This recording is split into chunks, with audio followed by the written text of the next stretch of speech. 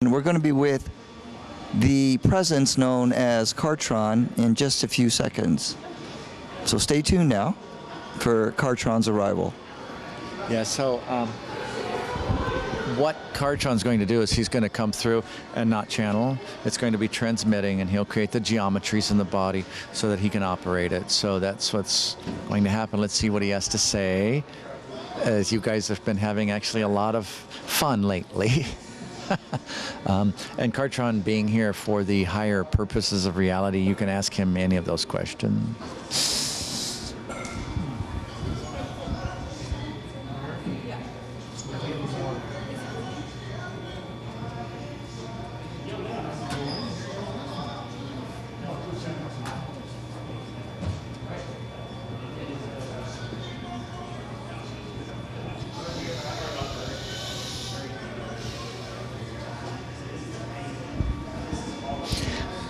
Kenji. Hello, Kartron. How are you doing? I'm outrageously blessed. Doing very well, thank you. So we are here to interview you. We are interviewing each other, I suppose. Yes. So here, let us interview ourselves. Okay. Oh, Kartron, what do you think about reality? Oh, let's ask the camera. And so the nature of this inquiry is what? What is the real nature of how we create our reality, experience, emotions, beliefs, and how they play out in the physical plane versus the quantum plane of oneness? This will be from a quantum view Yes. because you guys have enough of the stuff here. Yes. The uh, human level. We are also calibrating this response according to the beings that will be watching this, so this will be relevant to your souls and pres- presence, presences as well. The more densified forms of expression being the corporeal forms in the body region of the self, there are there has been um, historically the veil which separates the different dimensions. This nature of gathering that is now coming together is such that it is no longer a big difference between the quantum states and the human ones. You yourself are opening, uh, poking holes in the fabrics and stitching them together. It is not so much making holes as it is joining the points together. These fabrics then will start stitching and weaving, and there will be an interacting of them. So the human condition will be altered by the quantum states of divinity. Divinity in a generic term, meaning both the celestial, the galactic, and the uh, quantum state. So the expression here is literally going to be mutating. The evolution of the human possibility is now having to embrace its spirituality. It does not have a choice anymore. So, how in the heck can humans deal with this if they're choosing to not see it? It's the more their resistance is there, the more snap it's going to be. That's why you guys have to be really ready to hold that space. So the frequencies. In the quantum states where you is your natural being, you notice how it's more comfortable in your meditations than it is breathing on a microphone. Although this could have been classified as enjoyable.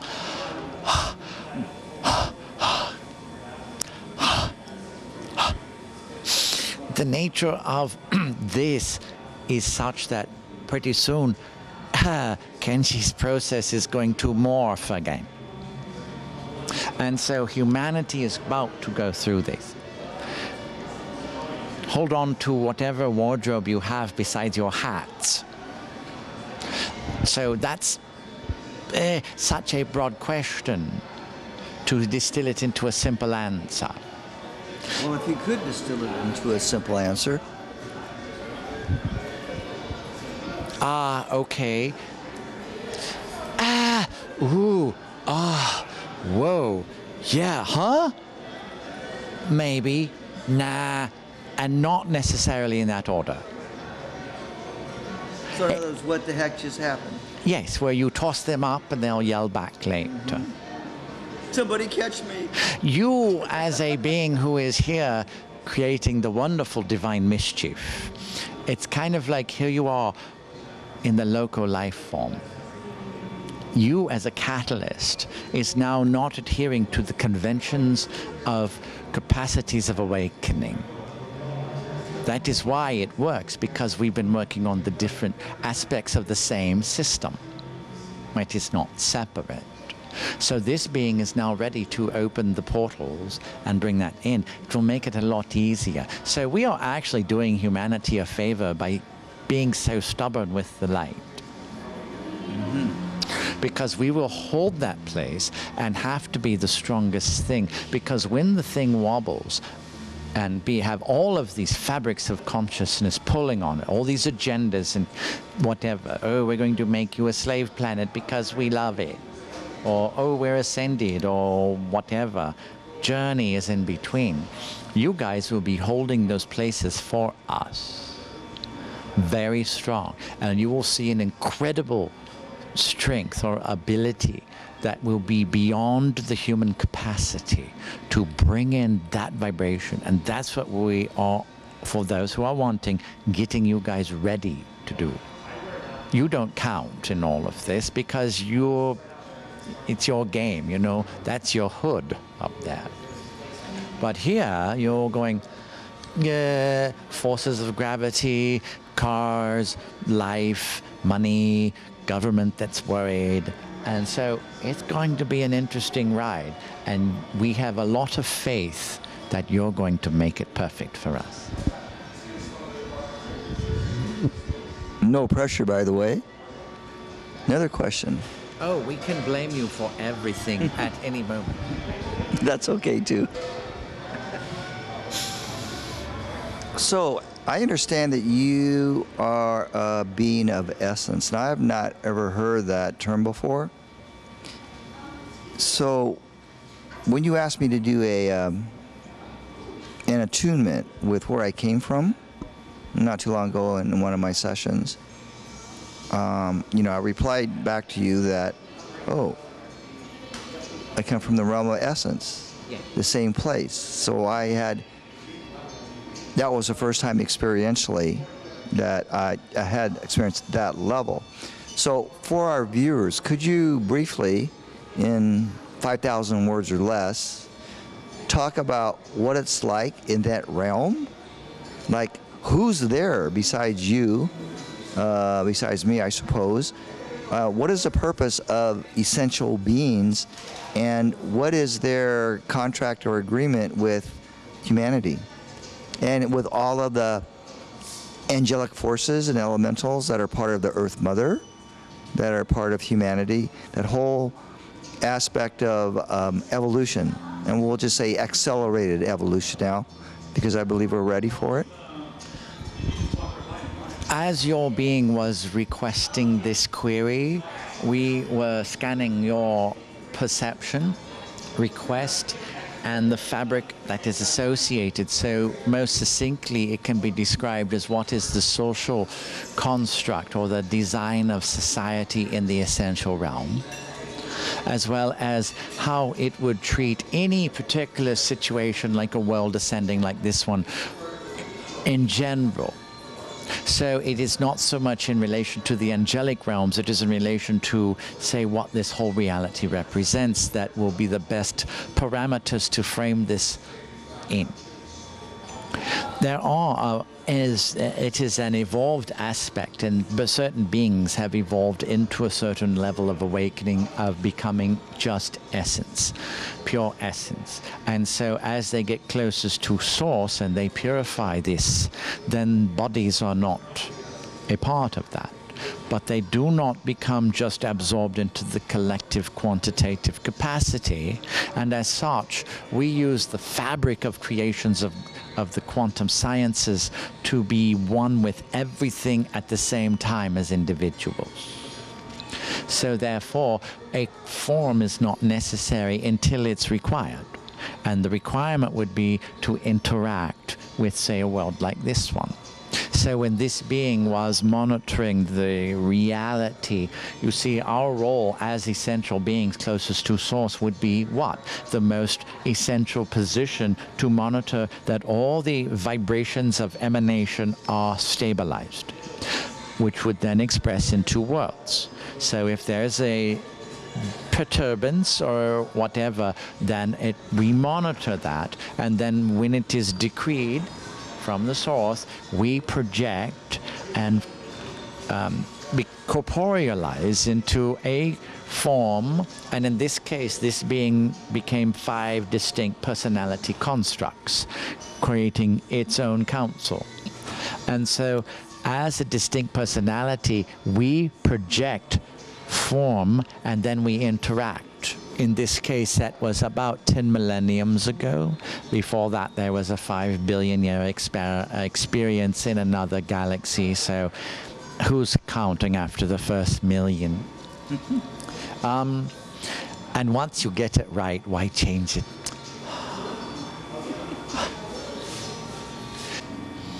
And so your beings are here, and so monitoring this realm for 10,000 years, we were looking for the dip in the evolution, the one that could have gone very degraded. Yeah.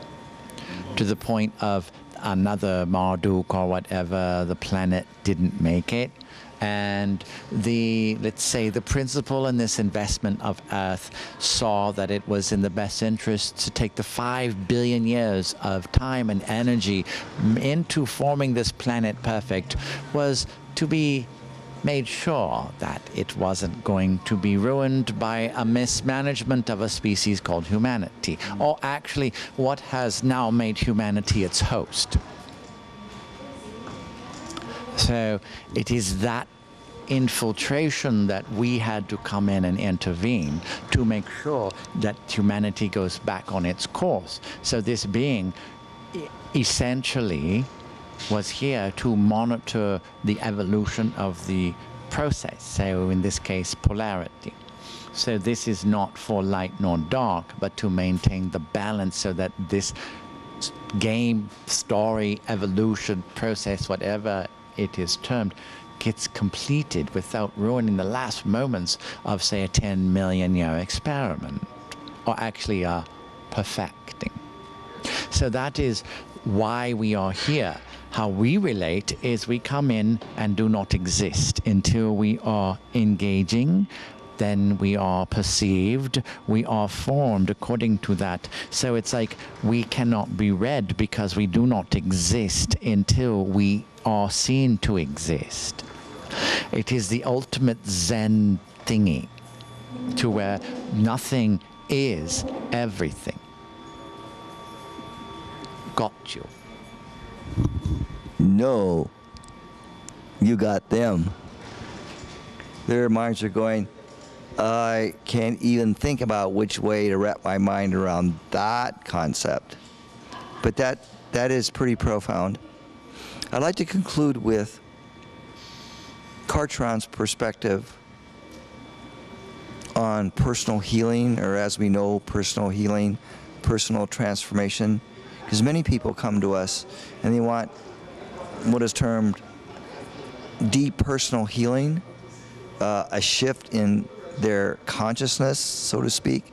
They want to be able to move out of this place of feeling very stuck um, psychically, um, emotionally, energetically. They know they have big things to do in the world and they can't seem to get there. Some have a vague notion, perhaps, of their vision, but I feel most people, they want to be able to be free. So, as Kartron, as a presence, how can Kartron assist with all of us that wish to fully awake, basically, and really get on with our life here? What we, this being can do is what we have been doing. So we will speak from that which has been successful. We reverse engineer the process of everything. So therefore, in the quantum states, one becomes by not becoming.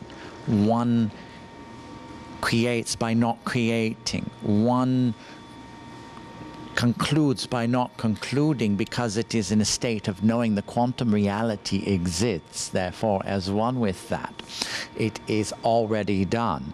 As such, we know it into existence that Therefore, knowing, which is a being science, is the doing of the vehicle of creation that accomplishes in the quantum realms. So, we just know it and it is so. So, Kartron could balance out the environment of a country by knowing it. Or we could heal all of your future clients so that you have a much nicer client base now, from now on because we know it.